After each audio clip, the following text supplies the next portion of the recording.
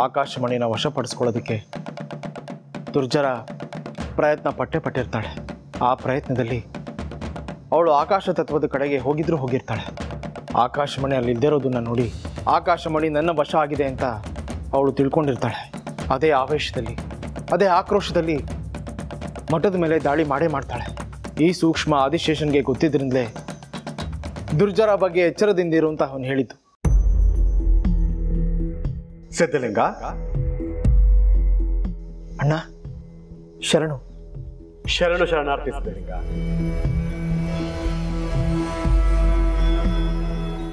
ಅಣ್ಣ ಯಾಕೆ ನನ್ನ ಹಾಗೆ ನೋಡ್ತಿದ್ದೀರಾ?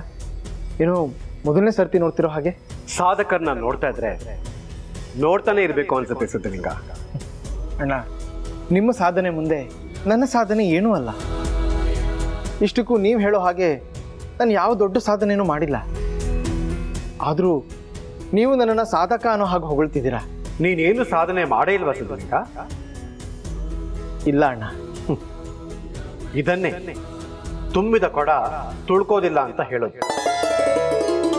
ನೀನು ಆಕಾಶ ತತ್ವದ ಕಡೆಗೆ ಪ್ರಯಾಣ ಬೆಳೆಸಿದ್ದು. ಅಲ್ಲಿ ನಿನಗೆ ಬಂದ ತೊಂದರೆಗಳನ್ನ ನೀನಾಗಿ ನೀನೇ ನಿವಾರಿಸ್ಕೊಂಡಿದ್ದು.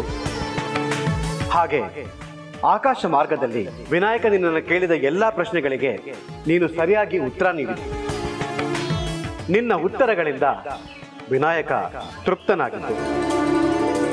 ಆನಂತರ ಸ್ವತಃ ವಿನಾಯಕನೇ ಆಕಾಶ ಮಣಿನ ನಿನ್ನ ಕೈಯಲ್ಲಿಟ್ಟು ನಿನ್ನನ್ನ ಭೂಲೋಕಕ್ಕೆ ಕಳಿಸಿದ್ದು.